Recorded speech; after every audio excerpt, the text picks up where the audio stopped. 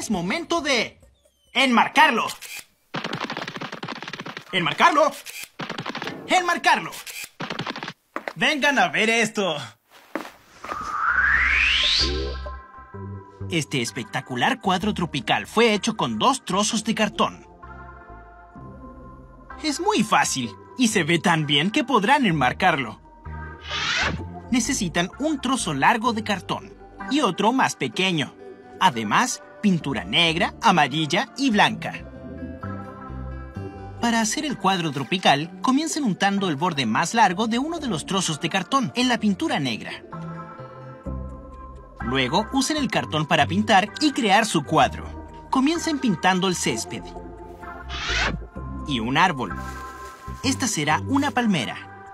Hagan el tronco con el borde más pequeño del cartón. Pueden esparcir la pintura con el cartón para hacer varias texturas en el cuadro. Las palmeras tienen muchas ramas puntiagudas.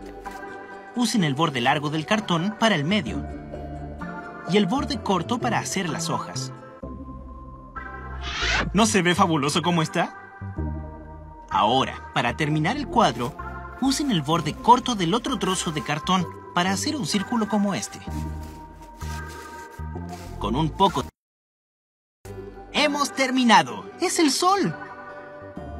Incluso pueden iluminar parte del césped y de las hojas con pintura blanca y amarilla. ¿Lo ven? No necesitan pinceles para hacer arte. Todo lo que necesitan es un poco de cartón. ¿Por qué no lo intentan ustedes? ¡Qué excelente forma de hacer un cuadro como ese! Todo lo que resta por hacer es enmarcarlo. Y ahora, un cuadro sucio. ¡Miren esto!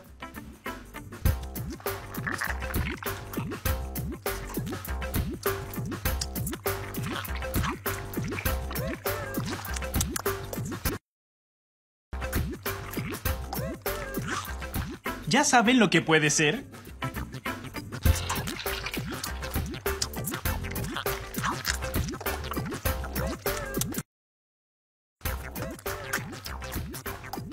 Es una abeja.